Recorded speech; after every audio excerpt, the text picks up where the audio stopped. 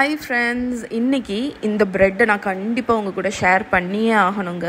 ஏன்னா வந்து நான் பண்ணதுலே இது வரைக்கும் ஒரு டென் இயர்ஸாக பேக் பண்ணிகிட்ருக்கேன் ப்ரெட்டு நான் பண்ணதுலே one of the best bread இதுன்னு சொல்லலாம். எவ்வளோ ஸ்குவிஷியாக இருக்குது பாருங்கள் நீங்கள் கடையில் ஒரு லோஃப் ஆஃப் ப்ரெட் வாங்கினீங்கன்னா எப்படி இருக்கும்? அதை நீங்கள் வீட்டிலே ரெப்ளிகேட் பண்ணலாம். அதுவும் ரொம்ப ஈஸியாட்டு நான் வந்து இந்த ப்ரெட்டோ ஸ்டாண்ட் மிக்சரில் தான் பண்ணுறேன் உங்ககிட்ட ஸ்டாண்ட் மிக்சர் இல்லை அப்படின்னா நீங்கள் ஹேண்ட் பீட்டரில் டோ ஹூக்கு வந்து கொடுத்துருப்பாங்க. அதை யூஸ் பண்ணி பண்ணலாம். அப்படி இல்லைன்னா நீங்கள் கையை வச்சே பிசையலாம். கையை வச்சு பிசைகிறதா இருந்தால் என்னென்னா கொஞ்சம் டைம் ஆகும். அவ்வளோதான் நீங்கள் ரொம்ப நேரம் நீட் பண்ணுற மாதிரி இருக்கும். ஸோ நான் வந்து மைதா மாவு ஆட் பண்ணியிருக்கேன் சுகர் ஆட் பண்ணியிருக்கேன் உப்பு ஆட் பண்ணியிருக்கேன் ஈஸ்ட் ஆட் பண்ணியிருக்கேன். இது எவ்வளோத்தையும் ஃபஸ்ட்டு ட்ரை இன்க்ரீடியன்ஸ் ஆட் பண்ணி அந்த ஸ்டாண்ட் மிக்சரோட இதை வச்சே நான் மிக்ஸ் பண்ணிட்டேன். நீங்கள் வந்து ஒரு பவுலில் இதெல்லாமே ஆட் பண்ணிக்கோங்க. ஒன்றும் பிரச்சனை இல்லை. சூப்பராக வரும். ஓகே இப்போ வந்து ஒரு முட்டையை அடித்து வச்சுருக்கேன். மிக்ஸ் பண்ணி வச்சுருக்கேன். அதில் ஒரு ஒரு டேபிள் ஸ்பூன் அளவுக்கு மிச்சம் வச்சுட்டு மிச்சத்தெல்லாம் ஆட் பண்ணிடுங்க இந்த ஒரு டேபிள் ஸ்பூன் நமக்கு எக் வாஷ் பண்ணுறதுக்கு தேவை.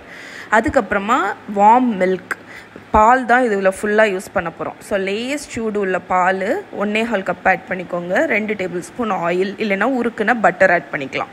இப்போ இதை நான் ஸ்டாண்ட் மிக்சரில் வச்சு நான் நீட் பண்ண போகிறேன் நீங்கள் கையில் பண்ணுறீங்க அப்படின்னா கையில் நீட் பண்ணுங்கள் ஓகே ஸோ இதை வந்து நல்லா நீட் பண்ண போகிறோம் இந்த பர்டிகுலர் ப்ரெட்டோட ஃபுல் ரிட்டன் ரெசிபி எவ்வளோ அளவு அப்படிங்கிறது இதில் அளவு தான் மெயின் அந்த அளவு வந்து கீழே லிங்க் ஒன்று கொடுத்துருக்கேன். அதில் போய் செக் பண்ணிக்கோங்க. உங்களுக்கு எல்லா டீட்டெயில்ஸுமே இருக்கும். ஸோ ஒரு அஞ்சு நிமிஷம் கழித்து டோவை uh, நான் பார்க்கும்போது கொஞ்சம் ஸ்டிக்கியாக இருக்கிற மாதிரி எனக்கு ஃபீல் ஆச்சு. ஸோ நான் என்ன பண்ணேன்னா ஸ்டாண்ட் மிக்சரை வந்து தூக்கிட்டு ஒரு ஸ்பேச்சுலாவை வச்சு ஸ்க்ரேப் பண்ணி விட்டேன். ஸ்க்ரேப் பண்ணிவிட்டு எக்ஸ்ட்ராவாக கொஞ்சம் மாவு ஆட் பண்ணேன். அதனால் உங்களுக்கு அளவு எல்லாமே நான் ரிட்டன் என்னோட பிளாகில் லிங்க்கு கீழே கொடுத்துருக்கேன். அதில் செக் பண்ணிக்கோங்க. ஸோ ஆட் பண்ணதுக்கு அப்புறமாட்டு நான் நீட் பண்ண போகிறேன் இந்த ப்ரெட்டில் கரெக்டான டெக்ஸ்சர் வர்றதுக்கு நீங்கள் நீடிங் பண்ணுறது தான் மெயினுங்க நீட் வந்து நல்லா பிசைஞ்சு விடணும் நீங்கள் ப்ரெட்டு வந்து மட்டும் நல்லா பிசையணும். ஸோ இது வந்து ஒழுங்காக நம்ம அளவான அதாவது கரெக்டாட்டு டைம் வரைக்கும் நம்ம பிசைஞ்சிருக்கோமான்னு கண்டுபிடிக்கிறதுக்கு நான் இப்போ விண்டோ பெயிண்ட் டெஸ்ட் பண்ணுறேன் இப்போ நீங்கள் கொஞ்சம் டோவை இப்படி எடுத்து இப்படி விரிக்கும் போது பார்த்தீங்கன்னா கிளியுது பார்த்தீங்களா அதுதான் விண்டோ பெயிண்ட் டெஸ்ட் நமக்கு கிளியக்கூடாது. அந்த அளவுக்கு நம்ம வந்து நீட் பண்ண போகிறோம் நீங்கள் பிசைஞ்சு பிசைஞ்சு விடும்போது உங்களுக்கு க்ளூட்டின் வந்து ப்ரெட்டில் ஆக்டிவேட் ஆகும். அதுதான் நமக்கு கடையில் உள்ள ப்ரெட் மாதிரி ஃப்ளஃபியாக கிடைக்கும். இப்போ நீங்கள் பார்த்தீங்கன்னா கிளியுது பாருங்கள் ஆனால் கொஞ்சம் க்ளூட்டின் வந்த மாதிரி இருக்குது ஏன்னா மொதல் டக்குன்னு கிழிஞ்சிச்சு. இப்போ நம்ம கொஞ்சம் தூரம் விரிக்கிற வரைக்கும் கிழியாமல் இருக்குது நான் கூட ஒரு அஞ்சு நிமிஷம் நீட் பண்ணேன். இப்போ நான் வந்து இப்படி இழுத்து பார்க்குறேன் பாருங்கள் கிளியவே இல்லை. இப்போ நமக்கு கரெக்டான அளவு க்ளூட்டின் வந்துடுச்சு ப்ரெட்டில் நம்ம ப்ராப்பராட்டு நீட் பண்ணியிருக்கோம்னு அர்த்தம். ஸ்டாண்ட் மிக்சர் இருக்கிறதுனால எனக்கு ஃபாஸ்ட்டாக இது வந்து ஒரு டோட்டலாக ஒரு பத்து நிமிஷம் போல் நீட் பண்ணியிருப்பேன் நீங்கள் கையில் பண்ணுறீங்க அப்படின்னா ஒரு அரை மணிக்கூர் ஆகும்னு வச்சுக்கோங்களேன். ஆனால் கம்ப்ளீட்லி ஒர்த்து ஸோ இந்த அளவுக்கு நீட் ஆனதுக்கப்புறம் இந்த விண்டோ பெயிண்டர்ஸ் தான் மெயினு இந்த ப்ரெட்டை பொறுத்த வரைக்கும். மற்றபடி எல்லாமே ஈஸி இதில் ஈஸ்ட்டு கூட நீங்கள் ஆக்டிவேட் பண்ண தேவையில்லை. எல்லாமே நம்ம ஒன்றா போட்டோம். இப்போ ஒரு மிக்சிங் எந்த பவுலில் ரைஸ் பண்ண விட போகிறீங்களோ அதில் கொஞ்சம் ஆயில் தடவிக்கோங்க. ஏன்னா வந்து ஆயில் தடவின பவுலில் போட்டால் தான் உங்களோட டோ வந்து நல்ல ப்ராப்பராக ரைஸ் ஆகும். இப்போ நம்மளோட டோவை அந்த பவுல்லேருந்து எடுத்து நீங்கள் ஸ்மூத்தாக ஷேப் பண்ணிவிட்டு நம்மளோட ஆயில் தடவின பவுலில் வச்சிட போகிறோம் ஓகே ஸோ ம கீழேயும் நல்லா ஆயில் அப்ளை ஆகிருக்கணும் இப்போ நான் மேலே வந்து கொஞ்சம் ஒரு கொஞ்சம் ஒரு ஃபியூ ட்ராப்ஸ் ஆயிலை வந்து மேலே தடவி விட போகிறேன் இந்த மாதிரி நமக்கு பண்ணும்போது நமக்கு ப்ரெட்டு மேலே வந்து இது ரைஸ் ஆக விடுவோம்ல ஸோ க்ரஸ்ட் மாதிரி ஃபார்ம் ஆகாது. இல்லாட்டி ஒரு மாதிரி ட்ரை ஆகிடும் ப்ரெட்டு மேலே. அதனால அந்த இதுவும் ஃபார்ம் ஆகாது உங்களுக்கு. இப்போ நான் வந்து ஒரு துணியை வச்சு கவர் பண்ணி இந்த டோவை வந்து ஒரு மணிக்கூர் வரைக்கும் ரைஸ் பண்ண விட போகிறேன் சில சமயம் உங்களுக்கு சூடாக இருக்குது இடம் அப்படின்னா டக்குன்னு ரைஸ் ஆயிரும். அதனால் செக் பண்ணிகிட்டே இருங்க.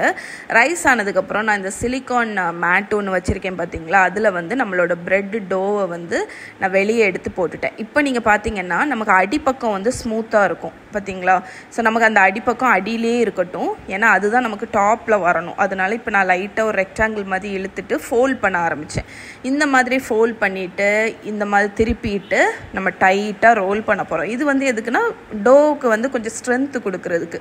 ஸோ இந்த மாதிரி ஃபோல்டிங் பண்ணி நம்ம ரோல் பண்ணும்போது உங்கள் ப்ரெட் டோ வந்து ஸ்லைஸ் பண்ணும்போது பேக் பண்ணிவிட்டு ஸ்லைஸ் பண்ணும்போது உங்களுக்கு ப்ரெட்டு வந்து நல்ல அந்த டெக்ஸ்டர் நல்லாயிருக்கும். அதுக்கு வேண்டி தான் இந்த மாதிரி ரோல் பண்ணுறோம் இப்போ நான் எல்லா இடத்தையும் சீல் பண்ணிட்டேன் பாருங்கள் சைட்லேயும் சரி அடியிலையும் சரி நல்லா சீல் பண்ணிட்டேன்.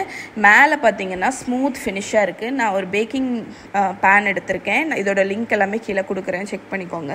பார்ச்மெண்ட் பேப்பர் லைன் பண்ணியிருக்கேன் ஆடியோட எக்கோ பேக் பார்ச்மெண்ட் பேப்பர் தான் யூஸ் பண்ணியிருக்கேன் அது நான் ஸ்டிக்கி அதனால் க்ரீஸ் பண்ண தேவையில்ல.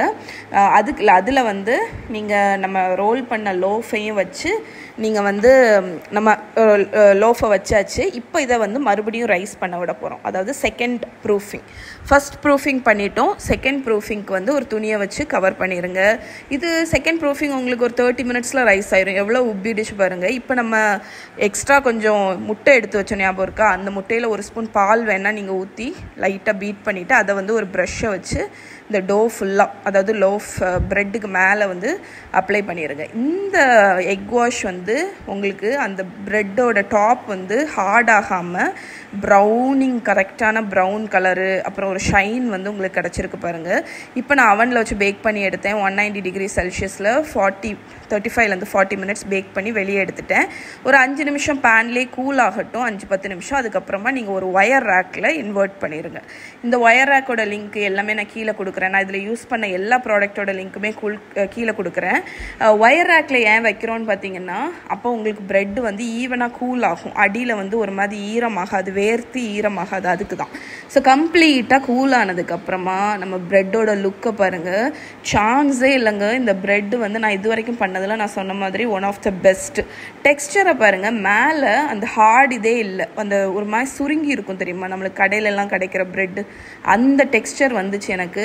மேலே அந்த ஸ்கின்னு முத கொண்டு அவ்வளவு பர்ஃபெக்டாக இருந்துச்சு. நான் இப்போ ஒரு நைஃபை வச்சு ஈஸியாக கட் பண்ணுறதுக்கே எனக்கு வந்து என்ன சொல்ல ஒரு ஏதோ ஒரு பில்லோவை கட் பண்ண மாதிரி இருந்துச்சு. அந்த அளவுக்கு ஃப்ளஃபியாக இருந்துச்சு. இங்கே பாருங்கள் எவ்வளோ அழகாட்டு ஸ்லைஸ் ஆகுதுன்னு எவ்வளோ நான் இதை கட் பண்ணும்போது தான் எனக்கு வந்து இந்த ப்ரெட் எவ்வளோ ஸ்குஷியாக இருக்குது அப்படின்னு தெரிஞ்சிச்சு. கடையில் எப்படி உங்களுக்கு ஒரு ப்ராப்பரான ஒரு ஒயிட் பிரெட் கிடைக்கும்? எவ்வளோ ஃப்ளஃபியாக நீங்கள் பேக்கரியிலேருந்து வாங்குறது எப்படி இருக்கும்? வீட்டில் ஈஸியாக நீங்கள் அதை பண்ணலாம். இப்போ எவ்வளோ ஸ்குஷியாக இருக்குன்னு காணிக்கிறேன் பாருங்கள் ஒரு பில்லோவை அமுக்குற மாதிரி இருந்துச்சு. இந்த பர்டிகுலர் ரெசிபி ரிட்டன் ஃபார்மேட் வந்து என்னோடய லிங்க் வந்து கீழே கொடுக்குறேன். மறக்காமல் அதை போய் செக் பண்ணுங்கள் ஏன்னா உங்களுக்கு அதில் எல்லா டீட்டெயில்ஸுமே நான் கொடுத்துருக்கேன். ஈஸ்ட்டை பற்றி எழுதியிருக்கேன். இதை எப்படி ஸ்டோர் பண்ணுறது இதை வச்சு என்ன பண்ணலாம்? எல்லாமே கொடுத்துருக்கேன். ஓகே ஸோ இதை ட்ரை பண்ணிங்கன்னா எப்படி இருக்குன்னு சொல்லுங்கள்